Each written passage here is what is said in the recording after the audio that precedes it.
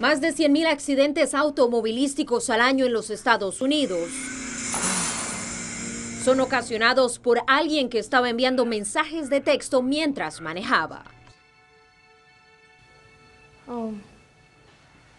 Sí, eso es muy peligroso.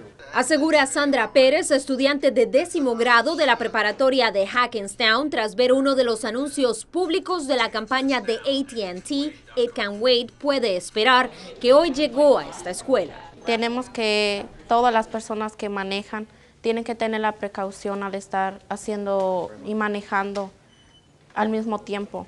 De acuerdo a una encuesta realizada por ATT en un grupo de 1.200 jóvenes entre los 15 y 19 años, 97% de los adolescentes reconocen que es peligroso. Aún así, el 43% admite hacerlo. Cuando en, una, luz roja, paran y cuando tienen un texto lo miran rápido y si pueden textear, textean y manejan texteando.